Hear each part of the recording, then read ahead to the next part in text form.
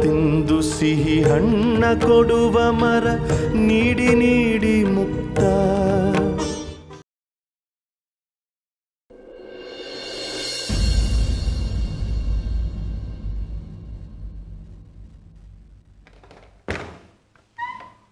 Bank manager ಸಾಹೇಬ್ರಿದ್ದಾರಾ ಇದರ ಬನ್ನಿ.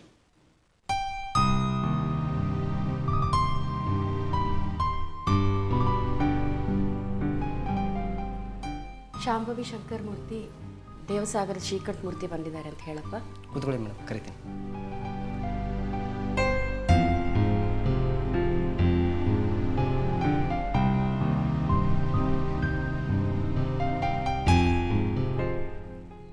ನಮಸ್ಕಾರ. ನಮಸ್ಕಾರ. ನಮಸ್ಕಾರ ಶ್ರೀಕಂಠಮೂರ್ತಿಗಳೇ. ಕೂತ್ಕೊಳ್ಳಿ. ಹೇಗಿದ್ದೀರಿ ಶ್ರೀಕಂಠಮೂರ್ತಿಗಳೇ? ಚೆನ್ನಾಗಿದ್ದೀನಪ್ಪ. ಏನೋ ಬರ ಹೇಳಿದ್ರಂತೆ. ಏನು ಸಮಾಚಾರ? ನೀವು ನಮ್ಮ ಬ್ಯಾಂಕ್ನಲ್ಲಿ ಲೋನ್ ಮಾಡಿರೋದು ಆ ಗೋಲ್ಡನ್ ರುದ್ರಾಕ್ಷನಲ್ಲಿ ಫ್ಲ್ಯಾಟ್ ತಗೊಳ್ಳೋದಕ್ಕೆ ಅಲ್ವಾ? ಹೌದು. ಆ ಬಿಲ್ಡಿಂಗ್ ಬಿದ್ದೋಗಿರೋ ವಿಷಯ ಕೇಳಿ ನಂಗೆ ತುಂಬ ಶಾಕ್ ಆಯಿತು. I am really sorry. ದುರಾದೃಷ್ಟ. ಏನು ಮಾಡೋದು?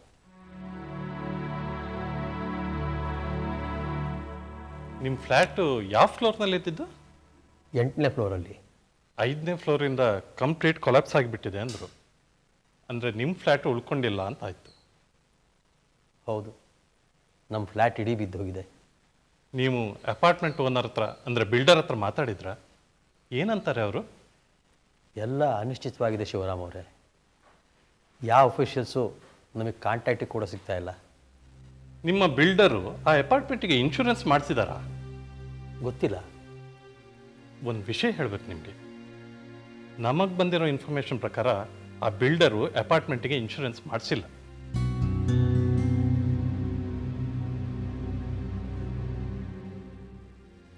ಆ ಕೊಲ್ಯಾಪ್ಸ್ ಆಗಿ ಫ್ಲ್ಯಾಟ್ ಕಳ್ಕೊಂಡವ್ರಿಗೆಲ್ಲ ಅದು ಹೇಗೆ ದುಡ್ಡು ವಾಪಸ್ ಮಾಡ್ತಾರೋ ಗೊತ್ತಿಲ್ಲ. ಅದ್ರ ಬಗ್ಗೆ ಯೋಚನೆ ಮಾಡಿ ಮಾಡಿ ನಮಗೆ ತಲೆ ಕೆಟ್ಟು ಹೋಗಿದೆ. ಇರಲಿ. ನಾನು ಒಂದು ಮುಖ್ಯವಾದ ವಿಷಯ ಡಿಸ್ಕಸ್ ಮಾಡೋಣ ಅಂತ ನಿಮ್ಮನ್ನು ಇಲ್ಲಿ ಬರೋಕ್ಕೆ ಕೇಳಿದ್ದು. ಏನು ಶಿವರಾಮ್? ಮೇಡಮ್ ನೀವು ನಿಮ್ಮ ಮನೆಯನ್ನು ಸೆಕ್ಯೂರಿಟಿಯಾಗಿ ಕೊಟ್ಟಿರಲ್ವಾ ಇವರ ಬ್ಯಾಂಕ್ ಲೋನಿಗೆ ಹೌದು ಸರ್. ಇವ್ರ ಮನೆಯಲ್ಲಿ ಯಾರಿಗೂ ಸಫಿಷಿಯೆಂಟ್ ಇನ್ಕಮ್ ಇಲ್ಲದೆ ಇರೋದ್ರಿಂದ ಇವರಿಗೆ ಲೋನ್ ಸ್ಯಾಂಕ್ಷನ್ ಮಾಡೋದು ತುಂಬ ಕಷ್ಟ ಆಗಿತ್ತು.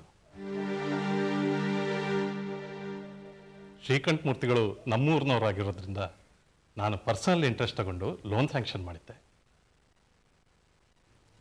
ನಾನಿವತ್ತು ಚೆಕ್ ಮಾಡಿದೆ. ಸ್ಯಾಂಕ್ಷನ್ ಆಗಿರೋ ಫುಲ್ ಅಮೌಂಟು ಅಂದರೆ ಹದಿನೇಳು ಲಕ್ಷ ರೂಪಾಯಿನೂ ಗೋಲ್ಡನ್ ರುದ್ರಾಕ್ಷಿ ಅಕೌಂಟಿಗೆ ಟ್ರಾನ್ಸ್ಫರ್ ಆಗಿದೆ. ನೀವು ಕೊಟ್ಟಿರೋ ದುಡ್ಡು ಅವ್ರು ವಾಪಸ್ ಮಾಡಿದರೆ ಸರಿ. ಇಲ್ಲಾಂದರೆ ನೀವು ಲೋನ್ ಹೇಗೆ ತೀರಿಸ್ತೀರಾ? ಸಾಲದ ಕಂತು ಕಟ್ಟೋದಕ್ಕೆ ಶುರು ಮಾಡೋದಕ್ಕೆ ಇನ್ನೂ ಟೈಮ್ ಇದೆಯಲ್ವಾ ಸರ್? ಇದೆ. ಆರು ತಿಂಗಳಿದೆ. ಆದರೆ ಬಿಲ್ಡಿಂಗ್ ಕೊಲಾಪ್ಸ್ ಆಗಿರೋ ವಿಷಯ ಹೆಡ್ ಆಫೀಸಿಗೆ ಬರ್ತಿದ್ದ ಹಾಗೆ ಅವರು ರಿಕವರಿಗೆ ಪ್ರೆಷರ್ ಆಗ್ತಾರೆ ಅದಕ್ಕೆ ನಿಮ್ಮನ್ನು ಪರ್ಸನಲ್ ಆಗಿ ಕರೆಸಿ ಮಾತಾಡ್ತಾ ಇರೋ ದಯವಿಟ್ಟು ಹೇಗಾದರೂ ಮಾಡಿ, ಆ ದುಡ್ಡಿಗೆ ವ್ಯವಸ್ಥೆ ಮಾಡಿ. ನಿಮ್ಮ ಮನೆ ಪೇಪರನ್ನು ಬಿಡಿಸ್ಕೊಂಡು ಬಿಡಿ ಇಲ್ಲಾಂದರೆ ಮುಂದಕ್ಕೆ ನಿಮಗೆ ತೊಂದರೆ ಆಗ್ಬೋದು.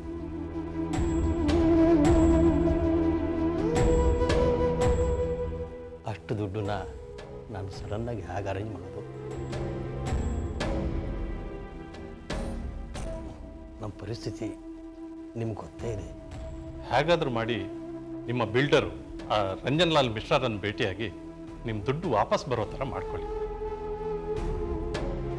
ಇಲ್ಲಾಂದರೆ ಸುಮ್ಮನೆ ಪ್ರಾಬ್ಲಮ್ ಆಗ್ಬೋದು. ಮನೆ ಹರಾಜಾಗೋರಿಗೆ ಬಂದ್ರಂತೂ ನಾವು ಏನು ಮಾಡೋಕ್ಕಾಗಲ್ಲ. ಅದು ಆಗದೆ ಇರೋ ಥರ ನಾನು ಅದೇ ಪ್ರಯತ್ನದಲ್ಲಿದ್ದೀನಿ. ಆದರೆ ರಂಜನ್ ಲಾಲ್ ಮಿಶ್ರಾ ಅವರು ಊರಲ್ಲಿ ಇಲ್ವಂತೆ ಕಾಂಟ್ಯಾಕ್ಟಿಗೆ ಸಿಗ್ತಾನೆ ಇಲ್ಲ. ಫ್ಲ್ಯಾಟು ಬೇಡ ಏನೂ ಬೇಡ. ಊರಲ್ಲಿರೋ ಜಮೀನು ಮಾರಿದ ದುಡ್ಡು ಹೋದ್ರೂ ಪರವಾಗಿಲ್ಲ. ಇವ್ರ ಮನೆ ಪತ್ರ ಬಿಡಿಸ್ಕೊಟ್ರೆ ಸಾಕಾಗೋಗಿದೆ. ಐ ಕ್ಯಾನ್ ಅಂಡರ್ಸ್ಟ್ಯಾಂಡ್ ಆದರೆ ಈ ವಿಷಯನ ನೀವು ಲೈಟಾಗಿ ತಗೋಬಾರ್ದಂತ ನಿಮ್ಮ ಜೊತೆ ಪರ್ಸನಲ್ ಆಗಿ ಮಾತಾಡೋಣ ಅಂತ ಬರೋಕ್ಕೆ ಹೇಳಿದ್ದೆ ನಮ್ಮ ಪ್ರಯತ್ನ ನಾವು ಮಾಡ್ತೀವಿ ಸರ್. ನೀವು ನಮ್ಮನ್ನು ಕರೆಸಿ ವಿಷಯ ತಿಳಿಸಿದ್ದಕ್ಕೆ ತುಂಬ ಥ್ಯಾಂಕ್ಸ್ ಶ್ರೀಕಂಠಮೂರ್ತಿಗಳು ತುಂಬ ಗೌರವಸ್ಥರು. ನಮ್ಮೂರಿನವರು. ನೀವು ಸಿದ್ಧಾರ್ಥಪುರದಲ್ಲಿ ಒಳ್ಳೆ ಹೆಸರಿರೋ ಮನೆಯವರು. ಇಬ್ಬರಿಗೂ ತೊಂದರೆ ಆಗಬಾರ್ದಂತ ಸಿನ್ಸಿಯರ್ ಆಗಿ ನನಗನ್ನಿಸ್ತು. ಅದಕ್ಕೆ ಪರ್ಸನಲ್ ಆಗಿ ಮಾತಾಡೋಣ ಅಂತ ನಿಮ್ಮನ್ನು ಕರೆಸ್ದೆ. ನಿಮ್ಮ ಕೈಲಾದಷ್ಟು ಬೇಗ ವ್ಯವಸ್ಥೆ ಮಾಡಿ. ಸರಿ ಸರ್. ತುಂಬ ಥ್ಯಾಂಕ್ಸ್ ನಾವೇನು ಬರ್ತೀವಿ. ಬರ್ತೀವಪ್ಪ. ಆಗಲಿ ಸರ್.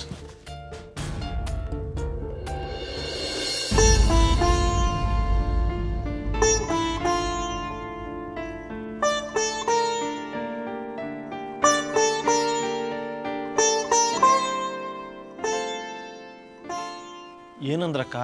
Bank manager? ಅವ್ರ ಕಂಟಿ ಮಾವ ತುಂಬ ಪರಿಚಯ ಅಂತೆ.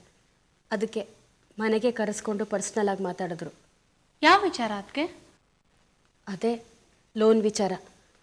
ಅಪಾರ್ಟ್ಮೆಂಟ್ ಬಿತ್ತಲ್ವಾ? ಏನು ಮಾಡ್ತೀರಿ ಅಂತ ಕೇಳಿದ್ರು. ಇಷ್ಟು ಬೇಗನ? ಸಾಲದ ಕಂತು ಕಟ್ಟಕ್ಕೆ ಇನ್ನೂ ಟೈಮ್ ಇದೆಯಲ್ಲ ಅಕ್ಕ?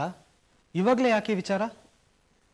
ಬ್ಯಾಂಕ್ ಮ್ಯಾನೇಜರ್ ನಮ್ಮ ಆಗಿ ಮಾತಾಡಿದ್ರು ಕಣೋ. ಅಪಾರ್ಟ್ಮೆಂಟ್ ಬಿದ್ದು ಹೋಯ್ತಲ್ಲ ಆ ಇನ್ಫಾರ್ಮೇಷನ್ ಹೆಡ್ ಆಫೀಸಿಗೆ ಹೋಗಿರತ್ತಂತೆ. ಹೆಡ್ ಆಫೀಸಿಂದ ಇವ್ರಿಗೆ ಪ್ರೆಷರ್ ಹಾಕ್ತಾರಂತೆ. ಆದಷ್ಟು ಬೇಗ ಲೋನನ್ನು ರಿಕವರ್ ಮಾಡಿ ಅಂತ. ಮುಂದೆ ಏನಾದರೂ ಪ್ರಾಬ್ಲಮ್ ಆದರೆ ನಮ್ಮನೆ ಹರಾಜಿಗೆ ಬಂದರೂ ಬರುತ್ತೆ ಅಂತ ಹೇಳಿದ್ರು ಕಣೋ.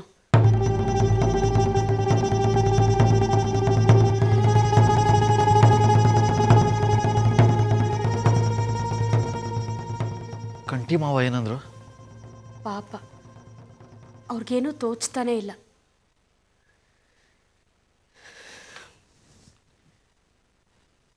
ಕಡೆಗೆ ಬ್ಯಾಂಕ್ ಮ್ಯಾನೇಜರೇ ಹೇಳಿದ್ರು ನೀವು ಮಿಶ್ರಾ ಅವ್ರನ್ನ ಮೀಟ್ ಮಾಡಿ ನಿಮ್ಮ ಹಣ ಪಡ್ಕೊಳ್ಳೋದಕ್ಕೆ ಟ್ರೈ ಮಾಡಿ ಅಂತ. ಅವರು ಮಿಶ್ರಾ ಅವ್ರನ್ನ ವಿಚಾರಿಸಿದ್ರಂತ? ಮಿಶ್ರಾ ಬಚ್ಚಿಟ್ಕೊಂಡಿದ್ದಾನೆ. ಯಾರ ಕೈಗೂ ಸಿಗ್ತಿಲ್ವಂತೆ ಎಂಥ ಫ್ರಾಡ್ ಅಲ್ವಾ ಅವನು? ಹಳೆ ಬಿಲ್ಡಿಂಗ್ ಮೇಲೆ ಹೊಸ ಅಪಾರ್ಟ್ಮೆಂಟ್ ಕಟ್ಟೋದಲ್ಲದೆ ತಲೆ ಮರೆಸ್ಕೊಂಡು ಬೇರೆ ತಿರ್ಗಾಡ್ತಿದ್ದಾನೆ. ಅವ್ನು ಒಳ್ಳೆ ಬಿಸ್ನೆಸ್ ಮೆನ್ನೇ ಆಗಿದ್ದಿದ್ರೆ ಇವ್ರಿಗೆಲ್ಲ ಸಾಂತ್ವನ ಹೇಳಿ ಪರಿಹಾರ ಕೊಡ್ತಿದ್ದ. ಅಷ್ಟು ಒಳ್ಳೆ ಬುದ್ಧಿ ಅವ್ನಿಗೆ ಎಲ್ಲಿಂದ ಬರಬೇಕು ಶಮ್ಮಿ? ಅಷ್ಟೊಂದು ಬುದ್ಧಿ ಇದ್ದಿದ್ದಿದ್ರೆ ಅವನಂತ ಅಪಾರ್ಟ್ಮೆಂಟ್ಸ್ ಕಟ್ಟಕ್ಕೆ ಹೋಗ್ತಾ ಇರಲಿಲ್ಲ. ಪಾಪ ಎಷ್ಟು ಜನಕ್ಕೆ ಯಾವ್ಯಾವ ಥರದಲ್ಲಿ ಪ್ರಾಬ್ಲಮ್ಸ್ ಅಲ್ವಾ? ಏ ಏನ್ ಮೆಸೇಜ್ ಇದು? Harshavardhana farm house Inchara valley Rudrakshipura. Nine four four nine one ಇಂದ ಅಲ್ವಾ? ಹೌದು. ಯಾರ ನಂಬರ್ ಅದು? ಮಹದೇಶಂದು ಅದೇ ಉಪಮುಖ್ಯಮಂತ್ರಿ ರಾಜಾನಂದ ಸ್ವಾಮಿ ಡ್ರೈವರು. ಅವ್ರ ಡ್ರೈವರ್ ನಿನಗೆ ಯಾಕೋ ಮೆಸೇಜ್ ಕಳಿಸಿದ್ದಾನೆ? ಅವನ ಹತ್ರ ರಿಕ್ವೆಸ್ಟ್ ಮಾಡ್ಕೊಂಡಿದ್ದೆ ಅಕ್ಕ. ರಂಜಲಾಲ್ ಮಿಶ್ರಾ ಎಲ್ಲಿದ್ದಾನೆ ಅಂತ ಇನ್ಫಾರ್ಮೇಷನ್ ಸಿಕ್ಕಿದ್ರೆ ಮೆಸೇಜ್ ಕಳಿಸು ಅಂತ. ಹೋಮ್ ಮಿನಿಸ್ಟರ್ ಡ್ರೈವರ್ ನಿನಗೆ ಪರಿಚಯನಾ? ಹ್ಞೂ ಅಣ್ಣ ಅವ್ನು ನಮ್ಮ ಸಿದ್ಧಾರ್ಥಪುರದವನೇ. ಮೇಸ್ರಿ ದುರ್ಗಪ್ಪ ಅವ್ರ ಮಗ. ನನ್ನ ಹತ್ರ ಮುಂಚೆ ಪಿಗ್ಬಿ ಕಟ್ತಿದ್ದ. ಅವನ ಹತ್ರ ರಿಕ್ವೆಸ್ಟ್ ಮಾಡ್ಕೊಂಡಿದ್ದೆ ಅದಕ್ಕೆ ಅವನಿಗೆ ಮೆಸೇಜ್ ಕಳಿಸಿದ್ದಾನೆ. ಹರ್ಷವರ್ಧನ ಫಾರ್ಮ್ ಹೌಸ್ ಓ ಹಾಗಾದರೆ ರಂಜನ್ಲಾಲ್ ಮಿಶ್ರಾ ಹರ್ಷವರ್ಧನನ್ ಫಾರ್ಮ್ ಹೌಸಲ್ಲೇ ಇದ್ದಾನೆ ಅಂತ ಆಯಿತು ಶಶಿ ನೀ ಕಂಟಿ ಅವಾಗ ಇನ್ಫಾರ್ಮೇಶನ್ ಕೊಡು. ಅವ್ರು ಹೋಗಿ ಮಿಶ್ರಾನ ಅಲ್ಲಿ ಫಾರ್ಮ್ ಹೌಸಲ್ಲಿ ಮೀಟ್ ಮಾಡಲಿ. ಮಿಶ್ರಾ ತುಂಬ ಡೇಂಜರಸ್ ಮನುಷ್ಯ. ಇವ್ರು ಅವನ ಹತ್ರ ಹೋಗಿ ಹಾಗೆಲ್ಲ ಮಾತಾಡೋದು ಸರಿ ಇರಲ್ಲ. ಹ್ಮ್. ಅದು ಅಲ್ಲದೆ ಕಂಟಿ ಮಾವ ಈ ಊರಿಗೆ ಹೊಸಬ್ರು. ಶಶಿ ನೀನೇ ಕರ್ಕೊಂಡು ಹೋಗೋ ಅವ್ರನ್ನ. ಪಾಪ ಇಲ್ಲಾಂದ್ರೆ ಅವ್ರಿಗೆ ಗೊತ್ತಾಗಲ್ಲ. ಸರಿ ಅಕ್ಕ. ನಾನು ಇವಾಗಲೇ ನಿವೇದಿತನ ಮೊಬೈಲ್ಗೆ ಫೋನ್ ಮಾಡಿ ಇನ್ಫಾರ್ಮೇಷನ್ ಎಲ್ಲ ತಿಳಿಸ್ತೀನಿ. ಆಮೇಲೆ ನಾಳೆ ನಾವೆಲ್ಲ ಹರ್ಷವರ್ಧನ್ ಫಾರ್ಮ್ ಹೌಸ್ಗೆ ಹೋಗಿ ಮೀಟ್ ಮಾಡ್ತೀವಿ ರಂಜಲಾಲ್ ಮಿಶ್ರಾನ.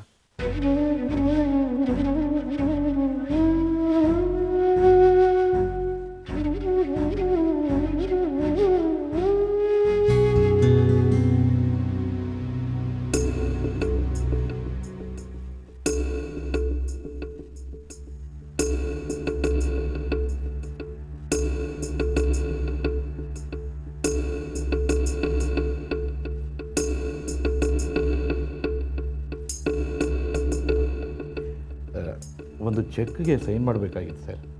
ಯಾವುದು? ದೇವದುರ್ಗ ಫಾರೆಸ್ಟ್ ಯಾರ್ಡ್ನಲ್ಲಿ ಟೀಕ್ ತೊಗೊಂಡಿದ್ವಲ್ಲ ಸರ್ ಆಕ್ಷನ್ನಲ್ಲಿ ಇವತ್ತು ಡಿ ಡಿ ಕೊಟ್ಟು ಲಿಫ್ಟ್ ಮಾಡಬೇಕು ಲಾಸ್ಟ್ ಡೇಟು. ಎಂಬತ್ತೇಳು ಲಕ್ಷದ ಮೂವತ್ತಾರು ಸಾವಿರ. ಕೊಡಿ.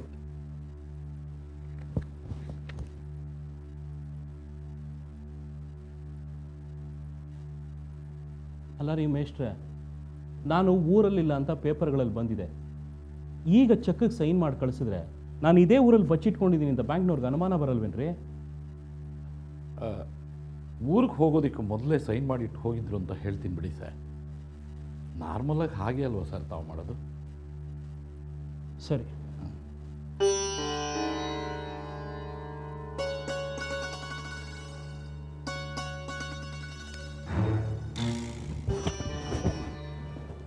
ಅಪಾರ್ಟ್ಮೆಂಟ್ ಬಿದ್ದೋಯ್ತಲ್ಲ ಅಲ್ಲೇನಾಗ್ತಿದೆ ಮಿಶ್ರ ಪೊಲೀಸ್ನವರೆಲ್ಲ ಬಂದು ಅಪಾರ್ಟ್ಮೆಂಟ್ ಹತ್ರ ಮಾಜರ್ ಮಾಡ್ಕೊಂಡು ಹೋದರು ಸರ್. ಅಪಾರ್ಟ್ಮೆಂಟ್ಗೆ ದುಡ್ಡು ಕೊಟ್ಟಿದ್ದವರೆಲ್ಲ ಆಫೀಸ್ ಹತ್ರ ಬಂದು ನಿಮ್ಮನ್ನು ಕೇಳಿದ್ರು. ಊರಿಗೆ ಹೋಗಿದ್ದಾರೆ, ಬರೋದು ಒಂದು ವಾರ ಆಗುತ್ತೆ ಅಂತ ಹೇಳಿದೆ. ಕೆಲವರು ಕೇಳಲಿಲ್ಲ. ಗಲಾಟೆ ಮಾಡಿದ್ರು. ನನ್ನನ್ನೇ ಹೊಡೆಯೋದು ಬಂದರು ಸರ್. ಮಧ್ಯಾಹ್ನದ ಮೇಲೆ ಸೆಕ್ಯೂರಿಟಿ ಜೊತೆಗೆ ಪೊಲೀಸ್ನವ್ರನ್ನೂ ಕರೆಸ್ತೀವಿ ಆಮೇಲೆ ಗಲಾಟೆ ಕಮ್ಮಿ ಆಯಿತು. ಹಾಸ್ಪಿಟ್ಲಲ್ಲಿರೋರು? ಇನ್ನೂ ಇಬ್ಬರು ಸತ್ತೋದ್ರು ಸರ್. ಅಲ್ಲಿಗೆ ಒಟ್ಟು? ಹನ್ನೊಂದು ಜನ ಆಯಿತು ಸರ್. ಉಳಿದವರು ಔಟ್ ಆಫ್ ಡೇಂಜರ್. ಸತ್ತೋರ ಮನೆಗೆ ಹತ್ತತ್ತು ಲಕ್ಷ ರೂಪಾಯಿ ಕೊಡಬೇಕು ಅಂತ ಶಿವಕೃಷ್ಣ ದೇಸಾಯಿ ಅವರು ಪತ್ರಿಕಾಗೋಷ್ಠಿ ಮಾಡಿ ಈಗ ಹೇಳಿದ್ದಾರೆ. ಫ್ಲ್ಯಾಶ್ ನ್ಯೂಸಲ್ಲಿ ಬಂತು ಸರ್. ಅಷ್ಟೇ ಹೇಳಿದ್ರು ಇನ್ನೇನಾದರೂ ಹೇಳಿದ್ರು? ಅದೇ ಸರ್.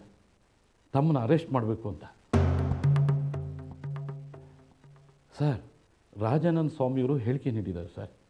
ಓನರ್ನ ಬಂಧಿಸಿ ತನಿಖೆ ಮಾಡೋದಕ್ಕೆ ಆಜ್ಞೆ ಮಾಡಿದ್ದೀನಿ ಅಂತ. ಹೋರಿ ಅವರು ಹಾಗೆ ಹೇಳಿಕೆ ಕೊಡಬೇಕು. ಅದು ಅವ್ರ ಡ್ಯೂಟಿ. ನಮ್ಮ ಲಾಯರು ರಾಮನಾರಾಯಣನ ಲೊಕೇಟ್ ಮಾಡಿದ್ರಾ? ಸಿಕ್ಕಿದ್ರು ಸರ್. ಡೆಲ್ಲಿಗೆ ಹೋಗಿದ್ದಾರಂತೆ. ಸುಪ್ರೀಂ ಕೋರ್ಟ್ನಲ್ಲಿ ಯಾವುದೋ ಒಂದು ಕೇಸ್ ಫೈಲ್ ಮಾಡೋದಕ್ಕೆ. ಬರ್ತಿದ್ದಾರಂತೆ. ಬಂದ ತಕ್ಷಣ ಇಲ್ಲಿಗೆ ಬರ್ತೀನಿ ಅಂತ ಹೇಳಿದ್ರು. ಸರಿ. ನೀವು ಕಾಳೆ ಬರೋವರೆಗೂ ಆಚೆ ಕೂತಿರಿ. ಹಾಂ. ಆಮೇಲೆ ಬ್ಯಾಂಕಿಗೆ ಹೋಗಿ. ಆಯಿತು ಸರ್.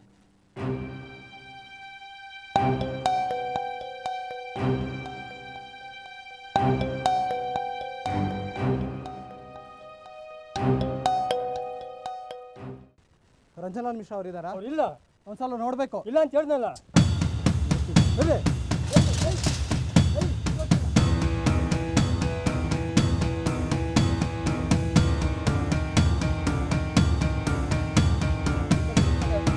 ನಿಮ್ಮ ಭಾಷೆ ಇಷ್ಟ ನೋಡ್ಬೇಕು ಬಿಡ್ರಿ ನಾನು. ಮಾತಾಡ್ಬೇಕು ನೋಡಿದ್ರ ರೀ ವೆಂಕಟಾಚಲಯ್ಯನವರೇ ನಿಮ್ಮ ಹತ್ರ ಸ್ವಲ್ಪ ಮಾತಾಡ್ಬೇಕು. ನಿಮ್ ಜನ ಬಿಡ್ತಾ ಇಲ್ಲ ಇಲ್ಲಿ. ಯಾರು ನೀವು? ನಾನು ಸರ್. ಏ ಬಿಡ್ರಿ. ನಾನು ವೆಂಕಟಾಚಲಯ್ಯನವರೇ ಅವತ್ತು ಶೇಷತ್ನವ್ರ ಜೊತೆ ಬಂದು ಅಪಾರ್ಟ್ಮೆಂಟ್ ಬುಕ್ ಮಾಡಿಲ್ವಾ? Golden Rudrakshi apartment. ಇಲ್ಲಿಗೆ ಯಾರು ಹೇಳಿದ್ರು ನಿಮ್ಮನ್ನು ಬರೋಕೆ ಏನು ಸರ್ ಹಾಗಂದ್ರೆ ಅರ್ಥ? ನಮ್ಮ ಹತ್ರ ಪೂರ್ತಿ ದುಡ್ಡಿಸ್ಕೊಂಡಿದ್ದೀರಾ ಅಪಾರ್ಟ್ಮೆಂಟ್ ಬಿದ್ದು ಹೋಗಿದೆ. ನಿಮ್ಮ ಆಫೀಸ್ ಹತ್ರ ಹೋದರೆ ಗೇಟ್ ಹತ್ರ ಪೊಲೀಸ್ನವ್ರು ನಿಲ್ಸಿದ್ದೀರಾ? ನಾವೇನು ಮಾಡಬೇಕು? ಅದಕ್ಕೆ ಇಲ್ಲಿಗೆ ಬಂದ್ವಿ. ಅದಕ್ಕೆ? ಇಲ್ಲಿ ಯಾರ್ದೋ ಮನೆ ಹತ್ರ ಬಂದು ಗಲಾಟೆ ಮಾಡಿದ್ರೆ? ಇದು ಹರ್ಷವರ್ಧನ್ ಅವ್ರಿಗೆ ಸೇರಿದ ಮನೆ. ಇಲ್ಲಿ ರಂಜನ್ಲಾಲ್ ಮಿಶ್ರಾ ಅವರು ಬಚ್ಚಿಟ್ಕೊಂಡಿದ್ದಾರೆ ಅಂತ ನಮ್ಗೆ ಇನ್ಫಾರ್ಮೇಷನ್ ಬಂದಿದೆ. ಅವ್ರು ಯಾಕ್ರಿ ಇಲ್ಲಿರ್ತಾರೆ ಇದು ಹರ್ಷವರ್ಧನ್ ಅವ್ರಿಗೆ ಸೇರಿದ ಮನೆ ಅಂತ ಹೇಳಲಿಲ್ಲ? ಹಾಗಾದರೆ ನೀವ್ಯಾಕೆ ಇಲ್ಲಿದ್ದೀರಿ? ನೀವು ರಂಜನ್ಲಾಲ್ ಮಿಶ್ರಾ ಅವರ ಮ್ಯಾನೇಜರ್ ತಾನೆ?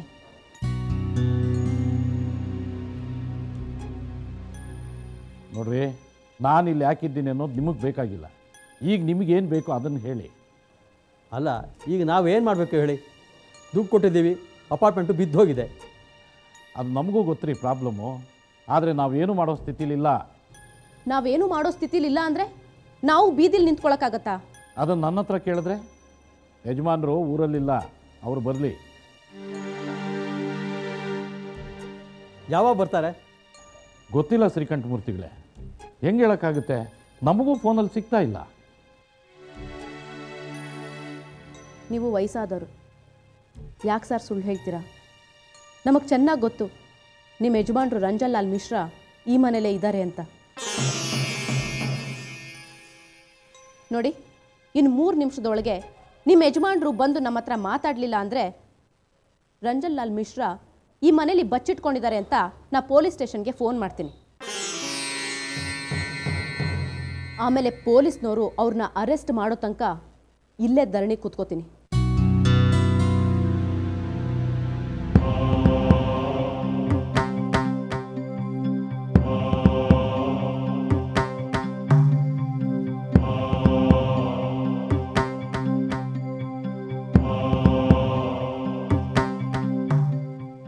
ನಾನೇಮ್ಮ ರಂಜನ್ಲಾಲ್ ಮಿಶ್ರಾ, ಇಲ್ಲೇ ಇದ್ದೀನಿ.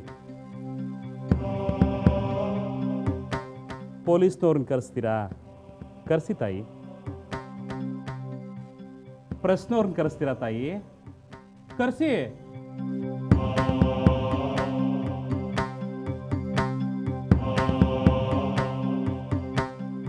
ತಗೊಳ್ಳಿ. ನಾನೇ ಪೊಲೀಸ್ ಸ್ಟೇಷನ್ಗೆ ಫೋನ್ ಮಾಡಿದ್ದೀನಿ. ಮಾತಾಡಿಮ್ಮ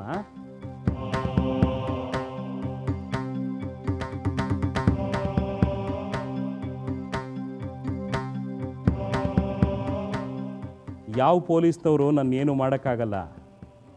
ನನಗಿರೋ ಇನ್ಫ್ಲೂಯೆನ್ಸ್ ಏನು ಅಂತ ನಿಮಗಿನ್ನೂ ಗೊತ್ತಿಲ್ಲ ಅಂತ ಕಾಣುತ್ತೆ.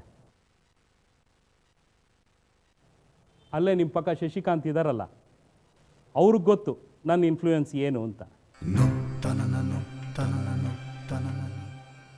ಏನ್ರಿ ಶಶಿಕಾಂತ್ ಅವರೇ? ತಾವೇನೋ ಇವ್ರನ್ನೆಲ್ಲ ಕರ್ಕೊಂಬಂದಿರೋದು ಹೋಮ್ ಮಿನಿಸ್ಟರ್ ಹತ್ರ ಹೋಗ್ತೀರಾ ಅಥವಾ ಚೀಫ್ ಮಿನಿಸ್ಟರ್ ಹತ್ರ ಹೋಗ್ತೀರಾ?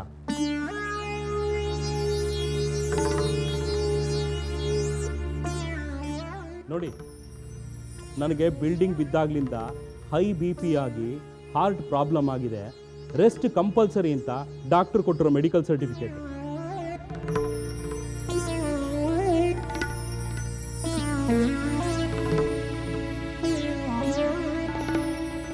ನನ್ನ ಯಾವ ಪೊಲೀಸ್ನವರು ಅರೆಸ್ಟ್ ಮಾಡೋಕ್ಕಾಗಲ್ಲ.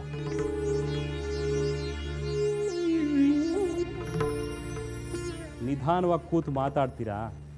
ಬನ್ನಿ ಒಳಗೆ ಕೂತು ಮಾತಾಡೋಣ. ಇಲ್ಲ ಗಲಾಟೆ ಮಾಡ್ತೀನಿ ಧರಣಿ ಮಾಡ್ತೀನಿ ಅಂತೀರಾ? ಮಾಡಿ. ನೋಡಿ ಎರಡೇ ನಿಮಿಷದಲ್ಲಿ ನಮ್ಮ ಸೆಕ್ಯೂರಿಟಿ ಅವನು ನಿಮ್ಮನ್ನು ಒದ್ದ ಆಚೆಗೆ ಹಾಕ್ತಾನೆ. ಏನು ಮಾಡ್ತೀರಾ? ನಮಗೆ ಗಲಾಟೆ ಬೇಡ ಸರ್. ತಮ್ಮಲ್ಲಿ ಪ್ರಾರ್ಥನೆ ಮಾಡ್ಕೋಬೇಕಾಗಿದೆ ಅಷ್ಟೇ. ಹಾಗಾದ್ರೆ ಬನ್ನಿ. ಬಿಡಪ್ಪ ಅವ್ರನ್ನೊಳಗೆ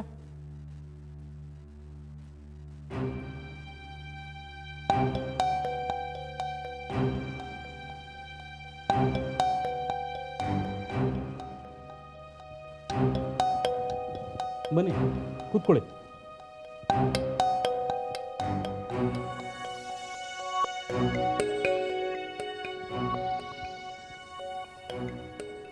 ಕಾಫಿ ಕುಡಿತೀರಾ? ಬೇಡ ಪರವಾಗಿಲ್ಲ. ಈಗ ನಿಧಾನವಾಗಿ ಹೇಳಿ. ಏನು ಬೇಕಾಗಿದೆ ನಿಮಗೆ? ನನಗೂ ಈ ಬಿಲ್ಡಿಂಗ್ ಬಿದ್ದಾಗ್ಲಿಂದ ಹೈ ಬಿ ಪಿ ಆಗಿಬಿಟ್ಟಿದೆ. ಹೇಳಿ. ಈಗ ಅದೇ ಸರ್ ನಾನು ಶೇಷಪ್ಪನ ಜೊತೆ ಬಂದು ತಮ್ಮ ಜೊತೆ ಮಾತಾಡಿ ಫ್ಲಾಟ್ ಬುಕ್ ಮಾಡಿದ್ದೆ. ಗೊತ್ತು. ಮೊದಲು ಹತ್ತು ಲಕ್ಷ ಕೊಟ್ರಿ. ಮೂರು ದಿನದ ಹಿಂದೆ ಉಳಿದ ಹದಿನೇಳು ಲಕ್ಷನೂ ಕೊಟ್ರಿ. ನನಗೆಲ್ಲ ಗೊತ್ತು. ಹೇಳಿ. ಈಗ ನಾವೇನು ಮಾಡಬೇಕು ಹೇಳಿ ಸರ್? ಬಿಲ್ಡಿಂಗು ಬಿದ್ದು ಹೋಗಿದೆ ನಾವು ಬಾಡಿಗೆ ಮನೇಲಿದ್ದೀವಿ ನೀವೇನು ಮಾಡಬೇಕು ಅನ್ನೋದನ್ನು ನಾ ಹೇಳೋಕ್ಕಾಗಲ್ಲ. ನಾವೇನು ಮಾಡಬೇಕು ಅಂತೀರಿ? ಅದು ಹೇಳಿ. ಸಾಲ ಮಾಡ್ತಂದಿರೋ ದುಡ್ಡು ಸರ್ ಅದು. ಬಿಲ್ಡಿಂಗ್ ಬಿದ್ದೋದ ತಕ್ಷಣ ಬ್ಯಾಂಕ್ನವರು ನಮಗೆ ಸಾಲ ಕಟ್ಬಿಡಿ ಅಂತ ಕೂತಿದ್ದಾರೆ. ತಾವು ತಕ್ಷಣ ಹಣ ನಮಗೆ ವಾಪಸ್ ಕೊಟ್ಟರೆ ನಮಗೆ ತುಂಬ ಉಪಕಾರ ಆಗುತ್ತೆ. ತಕ್ಷಣ ವಾಪಸ್ ಕೊಟ್ಬಿಡೋದಾ? ಏನು ತಮಾಷೆ ಮಾಡ್ತೀರಾ ಶ್ರೀಕಂಠಪ್ಪನವ್ರೆ? ನಾನು ಆ ಫ್ಲ್ಯಾಟ್ನ ನಿಮ್ಮ ಸ್ವಾಧೀನಕ್ಕೆ ಅವತ್ತೇ ಕೊಟ್ಟಾಯ್ತು. ಅಲ್ಲಿಗೆ ನನ್ನ ಜವಾಬ್ದಾರಿ ಮುಗೀತು. ಒಟ್ಟು ನೂರಿಪ್ಪತ್ತು ಅಪಾರ್ಟ್ಮೆಂಟ್ಗಳು ಬಿದ್ದಿರೋದು. ಒಂದೊಂದಕ್ಕೂ ಇಪ್ಪತ್ತೇಳು ಲಕ್ಷ ಅಂತ ವಾಪಸ್ ಕೊಡ್ತಾ ಕೂತ್ಕೊಂಡ್ರೆ ಎಷ್ಟಾಗುತ್ತೆ ನೀವೇ ಹೇಳಿ? ಮೂವತ್ತರಿಂದ ಮೂವತ್ತೈದು ಕೋಟಿ. ಅಷ್ಟು ದುಡ್ಡು ಕ್ಯಾಶ್ ಇರುತ್ತಾ ನಮ್ಮ ಹತ್ರ? ಹೇಗೆ ಕೊಡೋಕ್ಕಾಗುತ್ತೆ? ದುಡ್ಡಿಸ್ಕೊಂಡು ಹೇಗೆ ಕೊಡೋಕ್ಕಾಗುತ್ತೆ ಅಂದರೆ ಏನರ್ಥ ದುಡ್ಡು ಇಸ್ಕೊಂಡಿದ್ದೀನಮ್ಮ ಇಲ್ಲ ಅಂತ ಹೇಳಲಿಲ್ಲ. ಬಿಲ್ಡಿಂಗ್ ಬಿದ್ದು ಹೋಯ್ತು. ನಾನೇನು ಮಾಡಲಿ? ನಾನೇನು ಹಾರೆ ಗುದ್ಲಿ ಪಿಕಾಸಿ ತೊಗೊಂಡು ಬಿಲ್ಡಿಂಗ್ ಒಡೆದಾಕದ್ನ? ಹಳೆ ಬಿಲ್ಡಿಂಗ್ ಮೇಲೆ ಹೊಸದಾಗಿ ಮೂರು ಫ್ಲೋರ್ ಕಟ್ಟಿದ್ರೆ ಬಿದ್ದೋಗದೆ ಇನ್ನೇನಾಗುತ್ತೆ? ಏಯ್ ಯಾರಯ್ಯ ನೀನು? ನೀನು ಕೊಟ್ಟಿದ್ಯಾ ದುಡ್ಡಿದ್ದಕ್ಕೆ ಹೋಗ್ತಾ ರಾಚೆ ಶಶಿ ನಾನು ಮಾತಾಡ್ತೀನಿ ಸುಮ್ಮನೆ ಒಂದು ಮಾತಾಡಿದ್ರು ಕತ್ತಿಡ್ದು ಆಚೆಗೆ ತಳ್ಳಿಸ್ಬಿಡ್ತೀನಿ.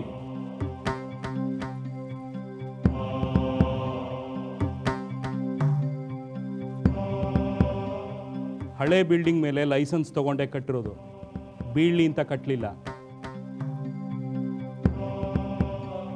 ಏನೋ ಮಿಸ್ಟೇಕ್ ಆಗಿದೆ. ಇಂಜಿನಿಯರ್ಗಳು ನೋಡ್ತಾ ಇದ್ದಾರೆ ಏನು ಮಿಸ್ಟೇಕು ಅಂತ.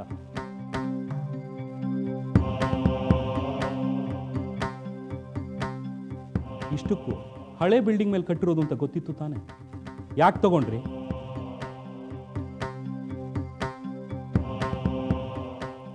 ನಾನೇನಾದ್ರು ಕಂಠಪ್ನವರೇ ಬನ್ನಿ ನಮ್ಮ ಅಪಾರ್ಟ್ಮೆಂಟ್ ತಗೊಳ್ಳಿ ಅಂತ ಕೇಳ್ಕೊಂಡಿದ್ದೆ ನೀವೇ ಶೇಷಪ್ಪನವ್ರ ಜೊತೆ ಬಂದು ಅವ್ರ ಕೈಲಿ ಹೇಳಿಸಿ ಅಪಾರ್ಟ್ಮೆಂಟ್ ತಗೊಂಡ್ರಿ? ಅದೆಲ್ಲ ಹೋಗಲಿ. ಈಗ ನಾವೇನು ಮಾಡಬೇಕು ಹೇಳಿ ಸರ್ ನಮ್ಮ ದುಡ್ಡಿಗೆ? ಸ್ವಲ್ಪ ದಿನ ಕಾಯಬೇಕಾಗತ್ತೆ. ಎಷ್ಟು ದಿನ? ಎಷ್ಟು ದಿನ ಅಂತ ಹೇಳೋಕ್ಕಾಗಲ್ಲ. ವರ್ಷ ಆಗ್ಬೋದು ಎರಡು ವರ್ಷ ಆಗ್ಬೋದು ಮೂರು ವರ್ಷ ಆಗ್ಬೋದು. ಮೊದಲು ಫಾಲ್ಟ್ ಯಾರ್ದು ಅಂತ ಡಿಸೈಡ್ ಆಗಬೇಕು. ನಿಮಗೆ ದುಡ್ಡು ಕೊಡೋಷ್ಟು ಕ್ಯಾಶು ನಮಗೆ ಬರಬೇಕು. ಆಮೇಲೆ ಮಾತು.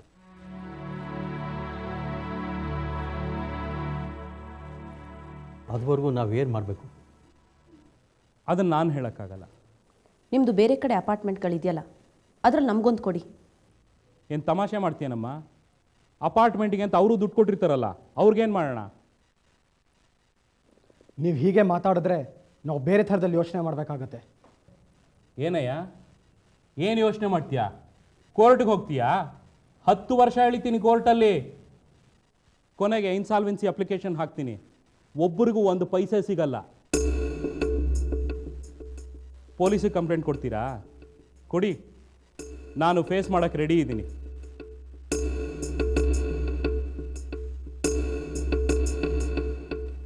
ನೋಡಿ ಕಂಠಪ್ಪನವ್ರೆ ಈಗ ನೀವು ಸುಮ್ಮನೆ ಇದ್ದರೆ ಇನ್ನು ಎರಡು ಮೂರು ವರ್ಷಗಳಲ್ಲಿ ಅರ್ಧ ದುಡ್ಡಾದರೂ ಸಿಗೋ ಥರ ಮಾಡ್ತೀನಿ ನಾನು. ಗಲಾಟೆ ಮಾಡ್ತೀನಿ ಅನ್ನೋದಾದರೆ ಮಾಡಿ. ಇಡೀ ಜೀವನ ಪಶ್ಚಾತ್ತಾಪ ಪಡೋ ಥರ ಮಾಡ್ತೀನಿ.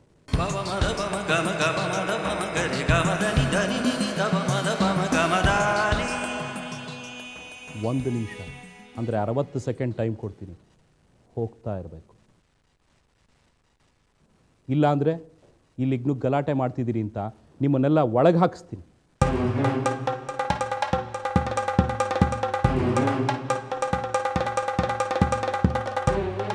ಶಶಿ ಬಾ ಹೋಗೋಣ. ಬಾಮ್ಮ.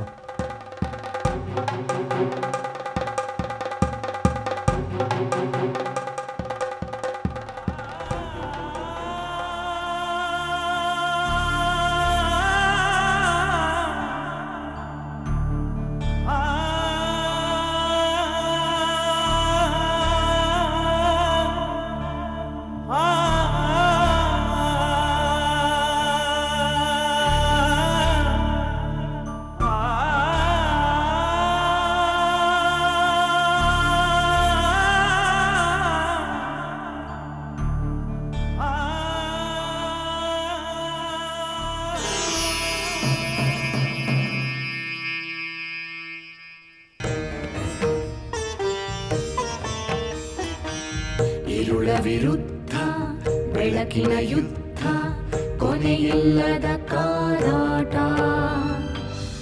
ಮಾಯಾಮೃಗ ಮಾಯಾಮೃಗ ಮಾಯಾಮೃಗದಲ್ಲಿ. ಶ್ರೀಧರ ನಾನೊಂದು ಮಾತು ಕೇಳ್ತೀನಿ. ಏನಪ್ಪ? ನಿಮ್ಮಮ್ಮನ ಕಂಡ್ರೆ ನಿನಗೆ ನಿಜಕ್ಕೂ ಪ್ರೀತಿ ಇತ್ತು ಅಲ್ವಾ? ಆಗ್ಲೂ ಇತ್ತು ಈಗಲೂ ಇದೆಯಪ್ಪ ಹಾಗಿದ್ರೆ ನಿಮ್ಮಮ್ಮನ ಮೇಲೆ ಆಣೆ ಮಾಡಿ ಸತ್ಯ ಹೇಳ್ತೀಯಾ? ಯಾವ ವಿಚಾರಪ್ಪ? ಆ ಹುಡುಗಿಗೆ ಕೋಟಿಗಟ್ಟಲೆ ಆಸ್ತಿ ಇದೆಯಂತೆ. ಆ ಆಸ್ತಿ ಆಸೆಗೋಸ್ಕರ ಅಲ್ಲ ತಾನೆ ನೀನು ಅವಳನ್ನು ಮದುವೆ ಆಗ್ತಾ ಇರೋದು. ಎಲ್ಲಕ್ಕಿಂತ ನಾಚಿಕೆ ಆಗೋ ವಿಚಾರ ಅದು. ನಾನು ಜೀವನದಲ್ಲಿ ಲಕ್ಷ ತಪ್ಪುಗಳನ್ನು ಮಾಡಿರಬಹುದು ಆದರೆ ದುಡ್ಡಿನ ಆಸೆಗೋಸ್ಕರ ನನ್ನನ್ನು ನಾನು ಮಾರ್ಕೊಂಡಿಲ್ಲ. ನೀನು ಹಾಗೆ ಮಾಡಿದ್ರೆ ನಿನ್ನ ತಡೆಯೋ ಶಕ್ತಿ ನನಗಿಲ್ಲ. ಆದರೆ ಖಂಡಿತ ದುಃಖ ಆಗತ್ತೆ. ಮಾಯಾ